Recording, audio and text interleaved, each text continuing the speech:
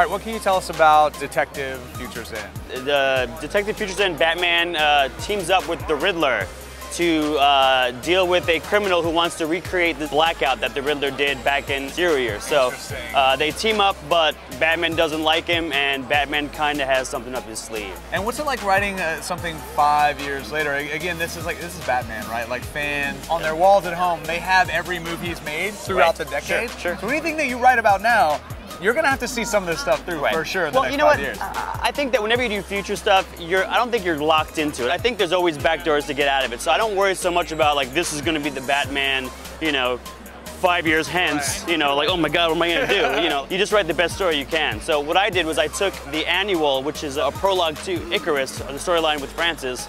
And I created uh, the origin of a villain who pays off five years later. So with Icarus, it was a murder mystery. The murder of Elena sort of sets up the storyline, and we've got a big dose of Harvey Bullock because we wanted a, a very detective sort of storyline. That pays off in 34, where you find out who killed Elena and why, but there are ramifications. Uh, if you've seen issue 33, at the end, Batman and Harvey get into a fistfight. And so on the last page, there's an explosion behind him. That explosion has ramifications that spins off into our second arc.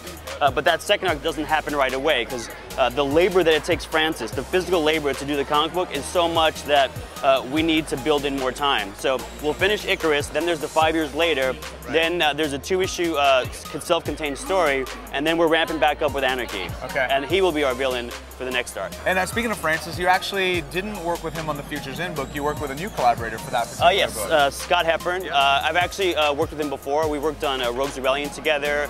Uh, he's actually doing uh, some of the art uh, in the annual, so uh, he's a studio mate of Francis. That's how I met him. He's a fantastic artist uh, in his own right, and uh, you know I, I couldn't be happier. And my last thing for you, when Bullock steps on the cape, Yeah. like- that's the greatest dick move of all time in comics, dude. So, Well, I think that's all Francis. When he laid out the page, like I had no idea he was going to do that, Right. so I was just as like, oh damn. yeah, now all the villains are like, why don't we just step on that Yeah. dude's cape?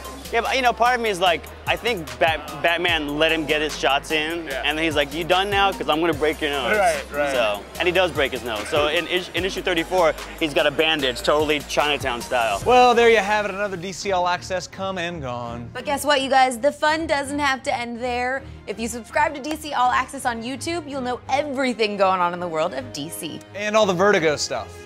That's DC too. Oh, and sweet DC collectibles. Yep, that's still DC, Blair. All right, Geoff Johns, Oh, it- Jim Lee, DC. Dan DC. DiDio.